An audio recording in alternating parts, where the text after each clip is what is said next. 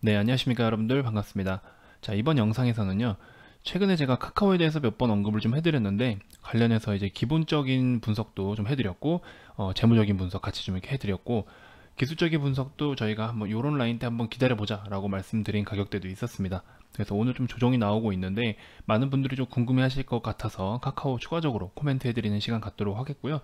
그 다음에 지금 장 중입니다. 그래서 장 중에 제가 실시간 종목들 드리는 거, 어, 그, 그래도 여태까지 꽤 좀 괜찮은 수익률들이 발생이 됐었는데, 이번에도 한번 그런 시간 가져보도록 하겠습니다. 자, 영상 시작에 앞서서 여러분들, 어, 종목도 수익 나면, 뭐, 여러분들 최소의 비용이다 라고 생각하시고, 구독, 좋아요, 알림 한 번씩만 꼭 설정해 주시면 감사하겠습니다.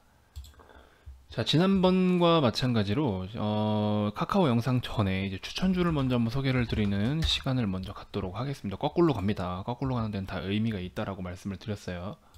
자, 일단 JW 중해제약이라는 종목입니다. 이 종목 한번 살펴보시면 좋을 것 같고요. 현재 시각 6월 2일 1시 45분입니다. 그렇죠? 장 마감까지도 충분한 시간이 있기 때문에 때문에 여러분들이 뭐 잡으려면 잡을 수도 있습니다. 네, 하지만 뭐 손절이라든지 이런 거 여러분들 기준 명확하게 지키셔야 되는 부분, 부분 참고해 주시면 좋을 것 같고요.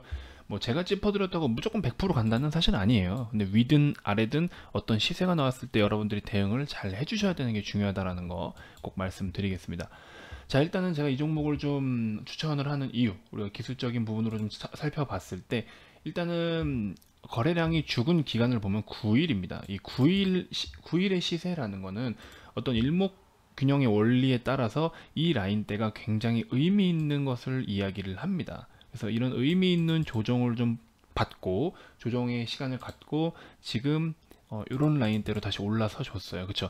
기존에 우리가 짧 짧게 보는 거죠. 자, 여기 이 라인만 한번 놓고 보세요. 이 라인만 놓고 봤을 때 기존의 저항 라인이었어요. 그렇죠? 여기 작은 박스권 내에서 횡보를 보이다가 그렇죠? 20선은 또 지지를 받는 모습이었고 여기는 횡보를 보였죠. 그래서 이 저항 라인이 여기 보시면 거와 같이 34,900원에서 35,000원 라인이에요. 제가 35,000원으로 그냥 편하게 설정을 하겠습니다. 자, 35,000원이 저항이라고 이렇게 간주를 하고 그렇죠? 이렇게 우리가 기준 잡고 매매를 하면 되는 건데 자, 이날 29일 날 이 캔들에 이렇게 윗꼬리가 긴 거. 윗꼬리가 기니까 이거 매도 물량이 더 센 거 아니야? 매도 물량이 센 건 맞아요. 그렇죠? 매도 물량이 센 건 맞지만 매도가 됐다는 거는 또 새로운 매수가 들어왔다라고도 볼 수 있는 겁니다.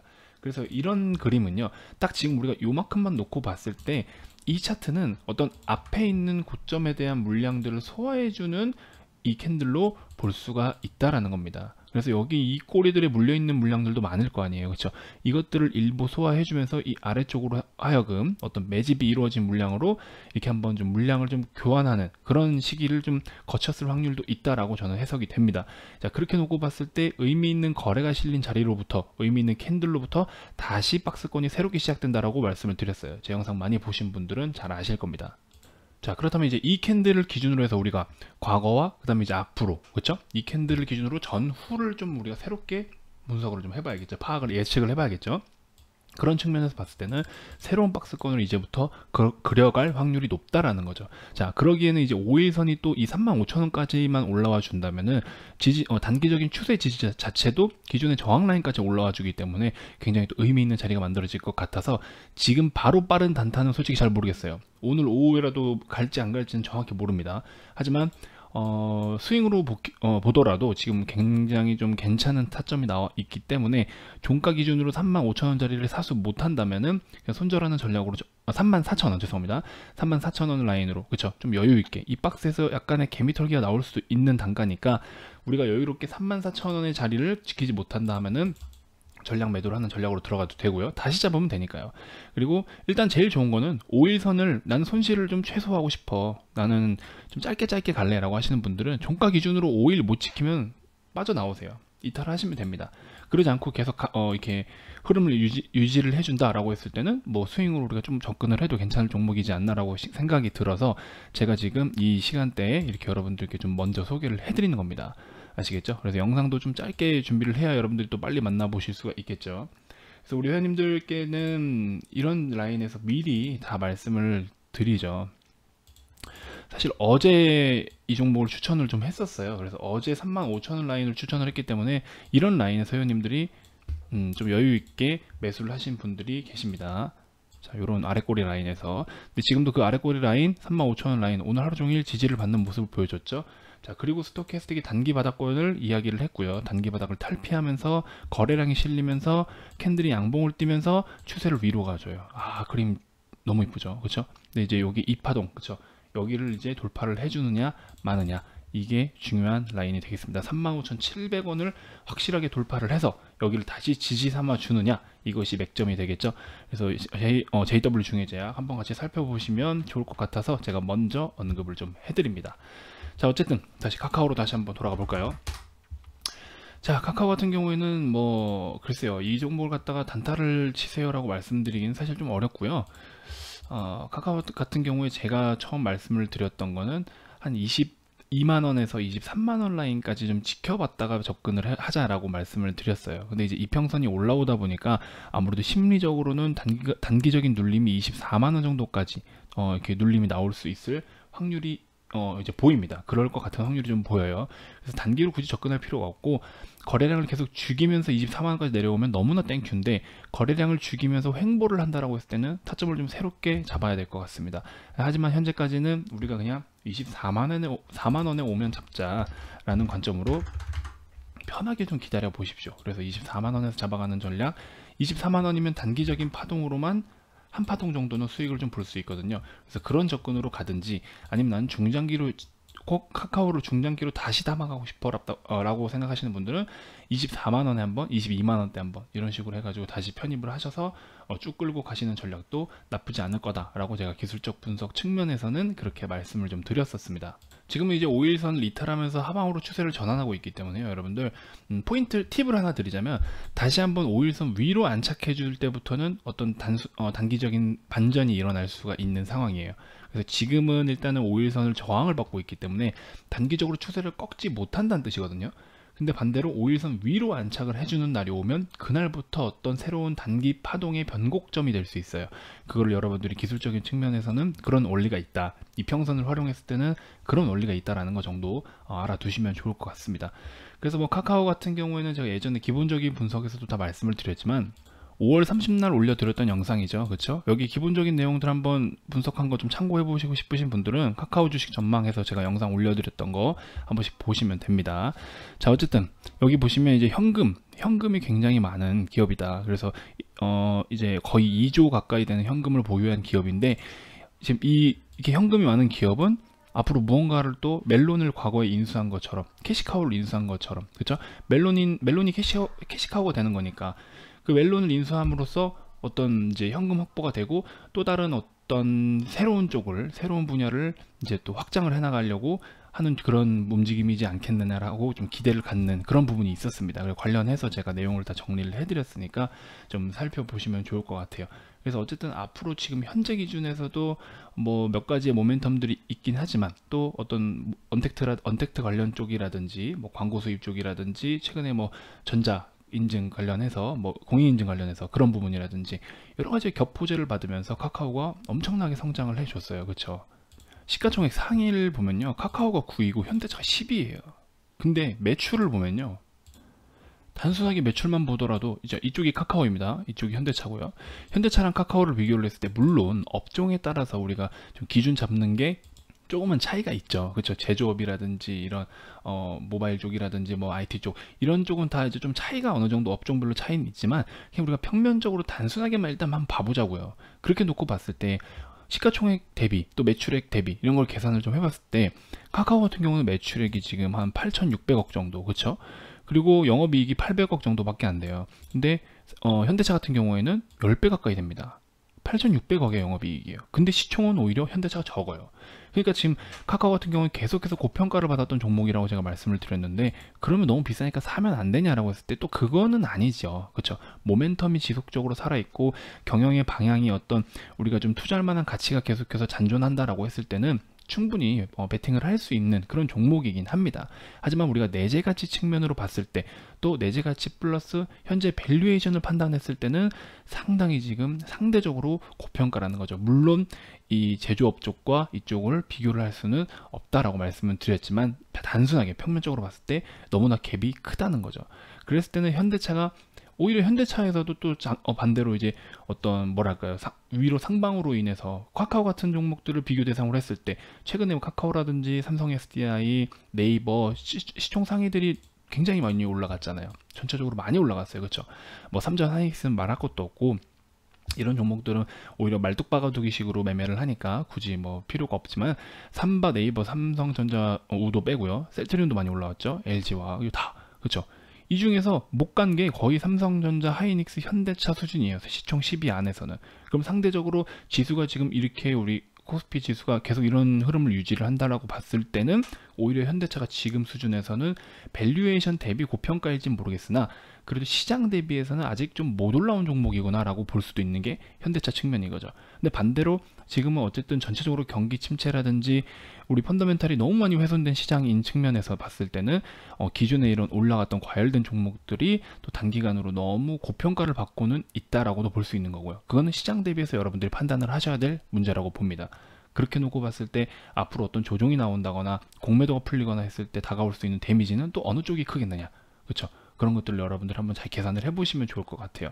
일단은 지금 음, 영상을 제가 빨리 업로드를 해드려야 되기 때문에 어, 이런 요 정도로 일단 마무리를 짓겠고요. 어, 그리고 간단하게 제가 몇 가지만 좀 말씀을 더 드리면 오늘 같은 날 우리 VIP 회원님들은 뭘로 수익을 받는지 또 많이 또 궁금해 하실 거 아니에요. 그렇죠? 그런 점들 한번 더 보여드릴게요. 자, 오늘 6월 2일입니다. 오늘 추천드렸던 종목 장 전에 항상 제가 먼저 드린다고 했어요. 자, 금일 단타 추천 종목 KNN 그쵸? 그다음 모나미, 우성사료 이렇게 세 가지를 드렸는데 오늘 회원님들이 되게 잘 매매를 침착하게 잘 해주셔가지고 세 가지 전부 다 수익이 났습니다. 그래서 같이 한번 좀 잠깐 살펴볼게요. KNN은 어, 일단 매수는 잘했어요. 매수는 침착하게 잘 하셨는데 이 첫 번째 꼬리를 만들고 두 번째 꼬리 만들고 여기 또 세 번째 꼬리를 만들고 이렇게 세 개의 꼬리가 조금 저는 계속 걸리더라고요. 그리고 장 중에 호가창도 뭔가 탄력이 좀 계속 없어서 고점을 갱신해 나갈 만큼의 힘이 느껴지진 않았어요. 그래서 바로 이제 매수를 했다가 수수료만 챙기고 나오시, 나오십시오 하고서 제가 이런 라인에서 다시 한번 매도 신호를 드려서 우리가 그냥 좀 짧게 진짜 짧게 그냥 수수료만 챙기고 나온 정도로 어 이거는 수익 실현을 좀 했던 종목이긴 하고요. 그 다음에 이제 우성사료 우성사료 같은 경우에는 시가 밑에서 잡아서 그렇죠? 시가 밑에서 잡아서 뭐 많이 갔죠. 이런 식으로 또 수익을 보기도 했고요. 모나미 모나미 같은 경우에도 시가 아래에서 잡는 전략 시가 아래에서 잡는 전략으로 해서 수익도 크게 났습니다. 현재까지도 계속 수익권 유지 중입니다. 자 그래서 이렇게 세 종목 오늘 매매를 좀 했다는 거 말씀을 드리고 기존에 제가 5월 20날 그렇죠 안트로젠이라는 종목을 소개를 해드렸었어요. 분석을 완전 디테일하게 잘 해드렸어요. 여기 보시면 어, 다 설명드렸었죠. 이 영상 한번 참고해 보세요. 5월 20날 삼성전자 주가 전망 영상에서 어, 안트로젠이 오늘 상한가를 간 내용이 이거 진또백이다. 이건 찐이다. 이 상승은 찐이라고 말씀을 드렸어요. 그래서 Wagner 뭐 이렇게 grade 1등급, 2등급 해서 제가 이 종목에 대해서 어, 기본적으로 어떤 종목인지에 대해서 굉장히 디테일하게 잘 풀어드렸어요. 그렇게 해가지고 설명을 드렸고 그 이후로 안트로젠이 어떻게 간, 갔습니까? 자, 이 상한가부터 말씀드렸죠. 드렸죠. 5월 20날. 그때서부터 지금까지만 해도 돈, 어, 상승 폭이 얼마입니까? 지금 고가가 43,800원인데 거의 더블, 거의 더블까지 온 거예요. 그렇죠? 이렇게 안트로젠이 많이 올라왔습니다. 그래서 상승을 한 상한가를 가더라도 이 상한가가 진짜냐 아니냐는 그 기업의 가치에 영향을 끼치냐 안 끼치냐를 판단을 해야 된다는 거죠. 그렇게 놓고 봤을 때 안트로젠은 이, 이 기업의 핵심 파이프라인이 당뇨병성 족부궤양에 대한 줄기세포 치료제인데 그 치료제가 메인 파이프라인이면서 거기에 대해서 어떤 수혜를 받을 수 있는 뭐, 뭐 패스트트랙이라든지 여러 가지가 적용받을 수 있는 혜택에 대한 것들이 이야기가 나왔고 어떻게 그, 그 이제 그 과정을 보면 임상 단계에 있어서 좀 더 이렇게 수월하게 어, 마무리가 될 수 있게끔 그런 혜택을 받는 것들에 관한 내용이 나왔었습니다. 그래서 그런 걸 FDA로부터 지정받는 내용이 공시가 떴기 때문에 이거는 진짜 백이다. 그래서 이거는 진짜 상승이다 라고 말씀을 드렸고 어, 그 뒤로도 이렇게 굉장히 큰 상승을 보여줬습니다. 그래서 회원님들께서 안트로젠을 또 매매를 하신 분들도 계세요. 그래서 현재 지금 보유 중이에요. 제가 팔지 말라고 했습니다. 아직 팔 때 아니라고 말씀드렸어요. 오히려 수익권이 여유롭기 때문에 팔지 말라고 말씀드렸습니다. 오이솔루션 제가 유튜브 추천에서도 공식적으로 좀 드렸었죠. 자, 금액은 적죠. 왜 적을까요? 금액이 왜 적을까요? 공부를 하고 한번 내가 진짜 어떤 식으로 해야 되는지 리딩 속에서 한번 내가 어, 나의 능력도 한번 키워보자 라는 관점으로 접근하시는 회원님이신 거예요.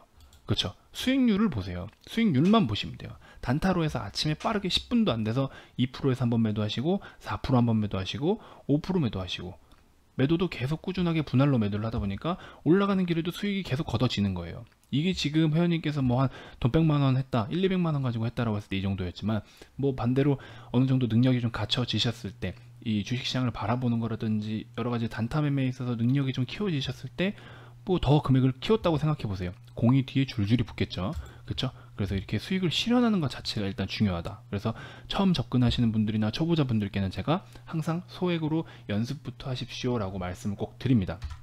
그래서 우리넷도 오늘 매매 아, 우리넷 같은 경우에는 이제 어, 전, 전 거래일부터 제가 가지고 오는 종목이긴 한데 일단 3% 정도가 됐으니까 절반은 좀 덜어놓고 갑시다 라고 추천을 드렸던 거고 어, 야스도 스윙으로 갖고 오는데 일단 5% 정도 됐기 때문에 일부 수익은 좀 챙기고 가자. 그런 전략으로 일단은 매도한 거. 그래서 그런 거 좀 참고해 주시면 좋을 것 같고요. 어, 야스 우리넷. 그쵸? 5%대 뭐 2%대 이런 식으로. 챙길 건 조금이라도 수익이 나면 어느 적정 부분에서 일단은 챙길 건 챙기고 넘어가는 게 좋아요. 그쵸? 그리고 나, 만약에 내려왔다. 그럼 다시 접근하면 되는 거거든요. 추가적으로 비중을 실으면 되는 거니까. 그쵸? 우리넷 야스 4% 5%대 이런 식으로 수익 보셨고 KNN 우리가 수수료만 챙겨 나옵시다 라고 말씀을 드렸죠 그래서 이렇게 소폭 수익 챙기셨고 야스 모나미 7%대 야스 5%대. 자 그래서 이제 어 이거를 왜 캡처를 했냐면요.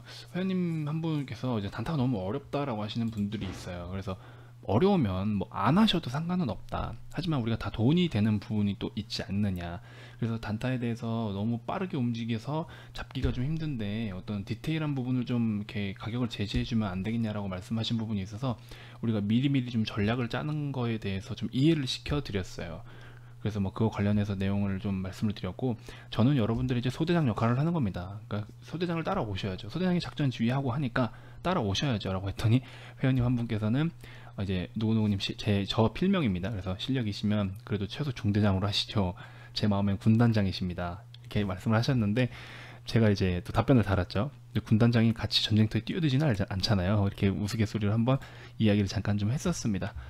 자 어쨌든 전체적으로 뭐 방 분위기도 너무 좋고 회원님들이 정말 열심히 하시려는 모습도 보기 좋고 하다 보니까 저도 시간 되는 대로 계속해서 좋은 정보를 제공해 드리려고 하고 있고 좀 그런 식으로 운영이 되고 있습니다 그래서 여러분들 관심 있으신 분들은 어 이제 이 번호로 문자로 성함만 문자로 남겨주시면 되시고요. 어 제가 매 영상마다 말씀드리지만 이 번호는 종목 상담을 해드릴 수 있는 번호가 아니라는 점 여러분들 꼭 한번 좀 참고 부탁드리겠습니다.